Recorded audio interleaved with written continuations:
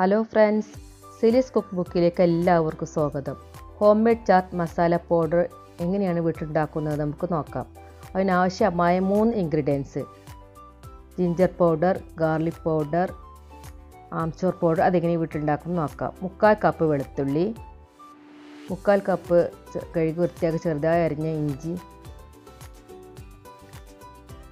അത് മിക്സിയുടെ ജാറിലേക്കിട്ട് അരച്ചെടുക്കാം.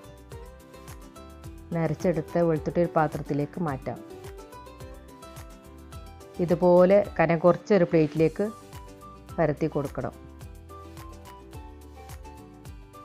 ഞാനിവിടെ ഒരു ചെറിയ ക്വാണ്ടിറ്റി നിങ്ങൾ കാണിക്കാൻ വേണ്ടി മാത്രമാണ് ഉണ്ടാക്കുന്നത്. ഞാൻ ആൾറെഡി പൊടി ഇവിടെ ഉണ്ടാക്കി വെച്ചിട്ടുണ്ട്.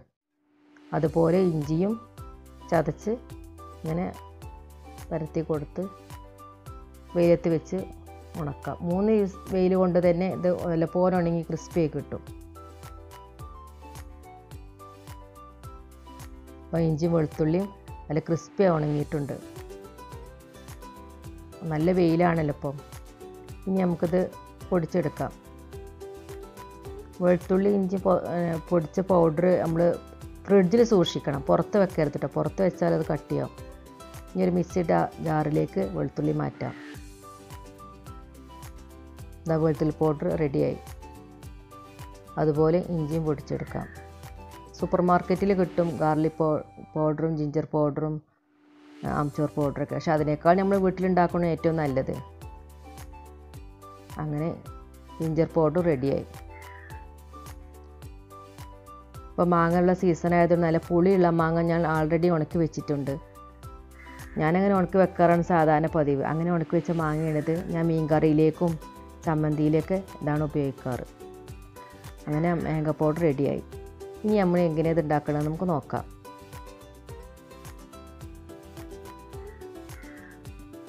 രണ്ട് ടേബിൾ സ്പൂൺ മല്ലി. രണ്ട് ടേബിൾ സ്പൂൺ കുരുമുളക്.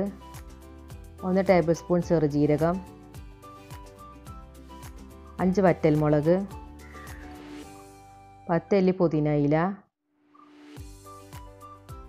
ഒരു tablespoon sugar black salt ഒരു ടേബിൾ സ്പൂൺ ഒരു ടേബിൾ സ്പൂൺ ജിഞ്ചർ പൗഡർ ഒരു ടേബിൾ സ്പൂൺ ഗാർലിക് പൗഡർ ഒരു ടേബിൾ സ്പൂൺ ആംചോർ പൗഡർ ഇത് വറുത്തെടുക്കണം എങ്ങനെയെന്ന് നോക്കാം. ഒരു പാൻ ചൂടാക്കി അതിലേക്ക് രണ്ട് ടേബിൾ സ്പൂൺ മല്ലി.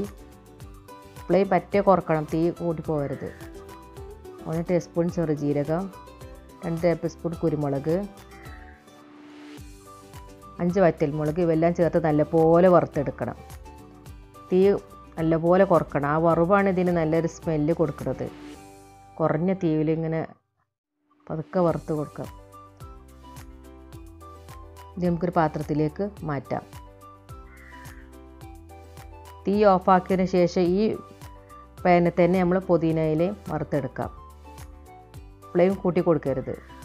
തീയൊന്നും വേണ്ട.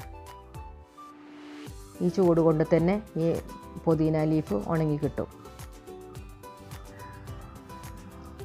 ഇനി എങ്ങനെ പൊടിച്ചെടുക്കണം എന്ന് നോക്കാം. ഒരു മിക്സിയുടെ ജാറിലേക്ക് അഞ്ച് വറ്റൽമുളക് വറുത്ത് വെച്ച മല്ലി കുരുമുളക് ചെറുജീരകം. തണുത്തതിന് ശേഷമാണ് പൊടിക്കേണ്ടത് കേട്ടോ തണുത്തതിന് ശേഷം.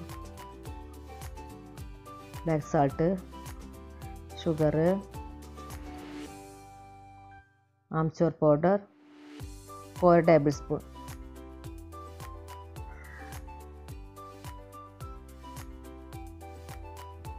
garlic powder tablespoon